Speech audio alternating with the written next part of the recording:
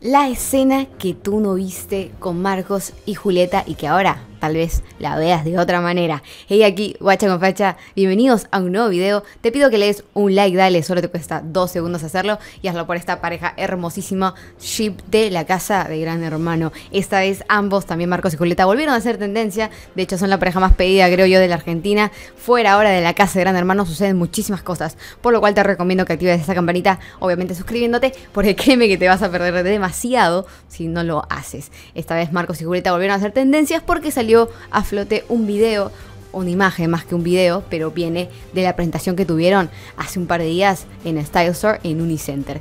La presentación causó furor, ya sabemos, fue hace ya un par de días, pero lo que es noticia de hoy es que básicamente Marcos digamos que se pasó un poquito de mano, obviamente habrá sido un accidente, calculamos, porque ambos han dicho públicamente que son supuestamente amigos. Me encantaría saber tu opinión, si crees que Marcos y Julieta deberían ser pareja. Abajo en la cajita de comentarios estoy respondiendo y dando muchísimos comentarios y corazoncitos, así que hacelo.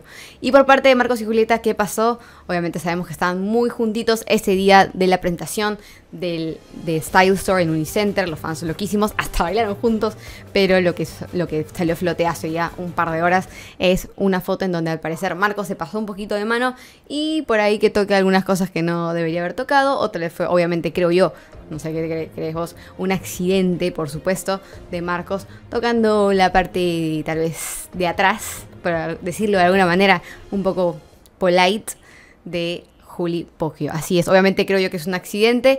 Están súper emocionados en ese momento, había demasiados fans y tal vez Marco quiso mover un rato a Julieta. Así que nada, eso creo yo, creo que pasó. Así que te recomiendo que te suscribas, activa esa campanita, dale like y guacha con pacha. Nos vemos en un siguiente video. Coméntame, ¿por qué votaste? Me da demasiada curiosidad, Nacho o Marcos. Abajo comenta y te estoy dando corazoncitos. Muchos.